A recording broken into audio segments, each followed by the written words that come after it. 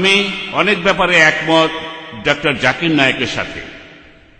উনি যেভাবে ধর্মের কথা বললেন, যেভাবে এক ঈশ্বরের কথা বললেন, কিন্তু মিস্টার নায়েক নিজেই বললেন যে হিন্দুইজমের সংস্কারকরা, তারা জোর দিয়ে বলছেন বেদকে মানার জন্য, পুরাণাগুলোকে নয়। তাই যদি হয়ে থাকে, তাহলে কি আমরা কলকিকে অবতার বলে মানতে পারি? আর আমার দ্বিতীয় প্রশ্নটা হল, আমি এরপরে আরও দুইটা প্রশ্ন করব।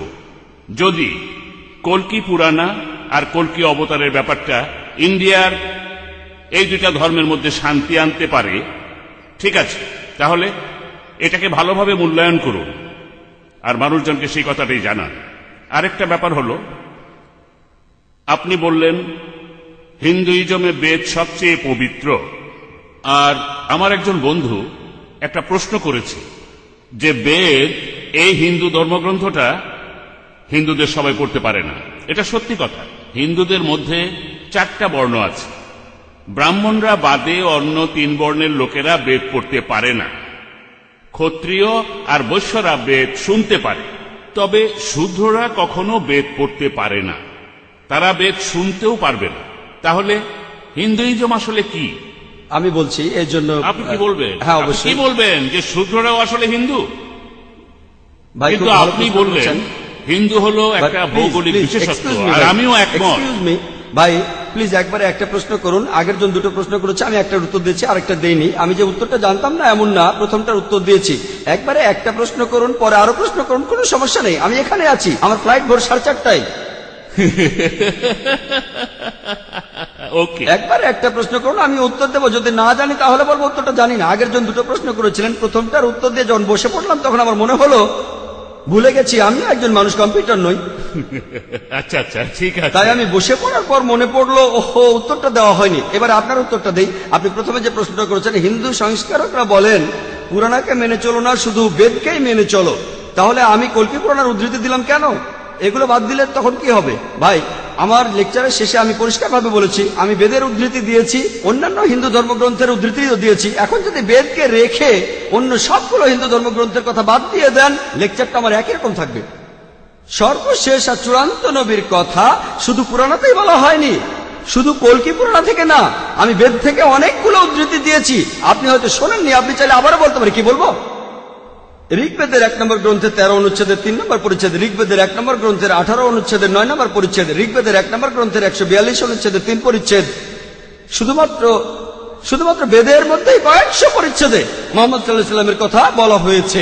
আমি আমার লেকচারেই বলেছি, যদি কলকি পুরানা বাদ দেন, কলকি অবতার বাদ দেন, তারপরেও আপনি পাবেন নরসংসা আপনি পাবেন কাউরামা আপনি পাবেন আভান্দু আথার্বা বেদে আছে সাম বেদে আছে ঋগ বেদে আছে, চারটা বেদে এইসব কথা, চারটাতেই হান্ড্রেড পার্সেন্ট চারটাতেই।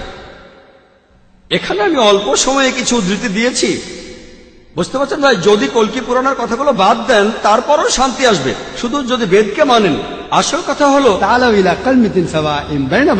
এসো সেই কথা যাহা তোমাদের এবং আমাদের মধ্যে এক। আমি জানি হিন্দুদের অনেকে ভগবদ গীতা আর পুরাণাকে শ্রদ্ধা করে সেজন্য এগুলো উদ্ধৃতি দিয়েছি। যদি ভগবদ গীতা আর পুরাণের কথা বাদ দেন তারপরও ঋগ্বেদে জিহাদের কথা আছে। ঋগ্বেদে জিহাদের কথা আছে আরও অনেক কিছু। তাই শুধু বেদের কথাগুলো নিলে আমার লেকচারের বেশিরভাগই একই রকম থাকবে। আশা করি উত্তরটা পেয়েছেন। এবার আপনার অন্য প্রশ্নটা, অন্য প্রশ্নটার উত্তর দেই, যে হিন্দুজমে কেন বিশেষ কিছু লোক ধর্মগ্রন্থ পড়তে পারে, অন্যরা পারে না? আপনি বললেন ব্রাহ্মণরা বেদ পড়তে পারে, ক্ষত্রিয়রা সেটা শুনতে পারে, কিন্তু শূদ্ররা শুনতে পারে না। এখন শূদ্ররা কি হিন্দু? বেদের কথা অনুযায়ী, মহান সৃষ্টিকর্তা তার মাথা থেকে সৃষ্টি হয়েছে ব্রাহ্মণ, অর্থাৎ শিক্ষিত সমাজ। স্রষ্টার বুক থেকে ক্ষত্রিয়রা যোদ্ধা সমাজ। উরুয়ার পাকস্থলী থেকে সৃষ্টি হয়েছে বৈশ্যরা, ব্যবসায়ী সমাজ। স্রষ্টের পা থেকে সৃষ্টি হয়েছে শূদ্ররা। তাহলে এটা একটা বর্ণ প্রথা যেটা আছে হিন্দুজমে আর আমি এটা মানি না। এমনকি সংস্কারকরা, রাজা রামমোহন রায়, তিনিও মানেননি। জাস্টিস রানারে তিনিও মানেননি। আল্লাহ পবিত্র করণে বলছেন, সুরা হুজুরাতে ১৩ নম্বর আয়তে উল্লেখ আছে, ইয়া ইউয়ান নাসু, ইন্না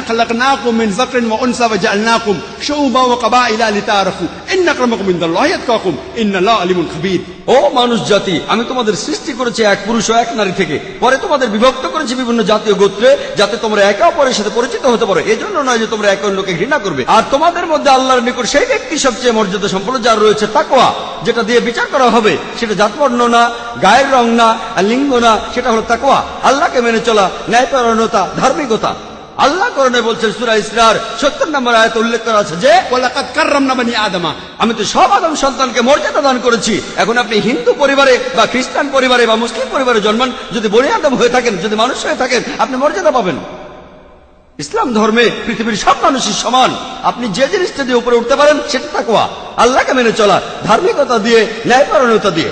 হিন্দুজমের বর্ণভেদকে আমি মানি না। আমি যেটা বিশ্বাস করি, অনেক পণ্ডিত বলেন, এই নিয়মটা বানানো হয়েছে যাতে উঁচু বর্ণের ব্রাহ্মণরা শাসন করতে পারে। এখানে তাদের কথাটা হলো, তুমি শূদ্র তুমি নিচু বর্ণের শূদ্রের মতোই থাকো। যদি আমার সেবা করো, পরের জীবনে তুমি ভালো মানুষ হবে। তবে এই জীবনে আমার সেবা করো, তাই আমার মতে এগুলো সৃষ্টিকর্তার কথা নয়। আর এজন্যই হিন্দু ধর্মের সংস্কারকরা এই প্রথার বিরুদ্ধে কথা বলেছেন, ব্রাহ্মণদের বিরুদ্ধে বলেছেন, ক্ষত্রিয়দের বিরুদ্ধে বলেছেন, আমার মত অনুযায়ী ভালো করে দেখলে এই বর্ণ প্রথাটা একটা ভুল। আর এই ধর্মগ্রন্থ সবাই পড়তে পারে।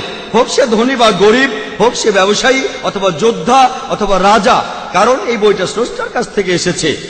মহান সৃষ্টিকর্তা, আর প্রত্যেকেরই জানা উচিত, স্রষ্টা আমাদের কি নির্দেশ দিয়েছেন। আশা করি উত্তরটা পেয়েছেন।